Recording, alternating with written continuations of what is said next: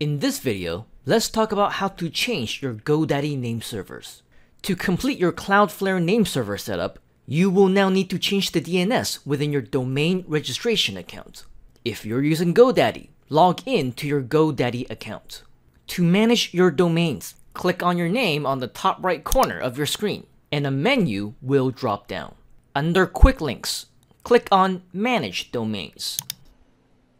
You will then see a list of all your domains. Click on the settings next to your domain to reveal another menu where you can select Manage DNS.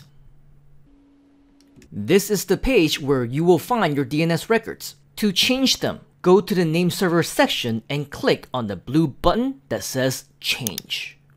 You will then be taken to the page where you can directly change the name servers of your domain name. Review the instructions provided by Cloudflare confirm the current name servers are the same. Copy the name servers that were given by them. Go back to GoDaddy and paste them into the name servers of your domain name.